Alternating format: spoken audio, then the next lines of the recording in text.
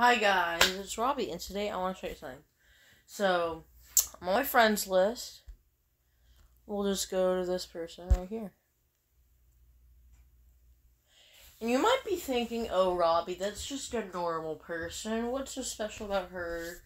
And that your friends her on Roblox. Well, look at her username at XxLeeProxX. Just remember that, okay? Now we are going to go to Outlaster.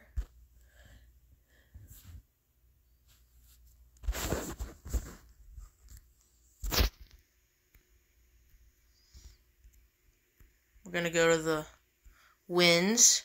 And you see that the same person, XX Lepro XX, is number 7 on the leaderboard.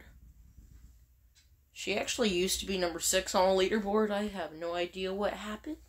But yeah, I'm friends with someone in the top 10 on the Outlaster leaderboard, which I find is pretty cool. And and I've played a game with her once. She is pretty good. She finds multiple advantages. She wins loads of challenges with ease.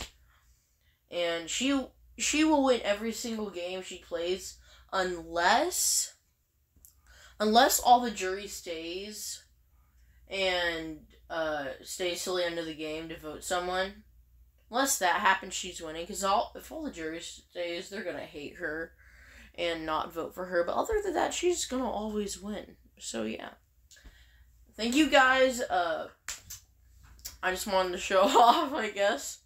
But yeah, that's about it for this video. Bye.